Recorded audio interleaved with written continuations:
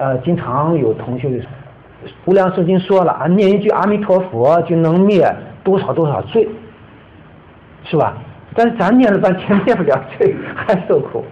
啊，这个里边讲基础在这儿啊，你没有达到善的这个基础，啊，没有达到说不容毫风不善奸杂，你就不清净。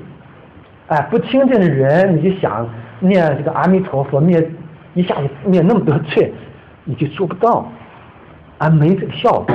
原因在这儿，所以说，哎，大家念了半天佛，啊，修了很多法，啊，念了很多咒，念完了以后就没变化，哎，没效果。这个里边讲清楚啊。不容毫分不善奸杂，你没达到这一条，其他的东西啊，学了半天效果不明显。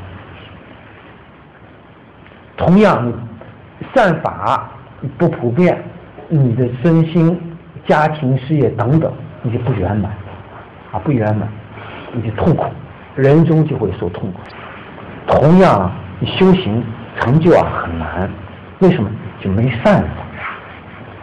善法就是最根本的啊！这个解佛讲了，皆依此法以为根本，这是最根本。没有这个东西，你修一切白修，没有。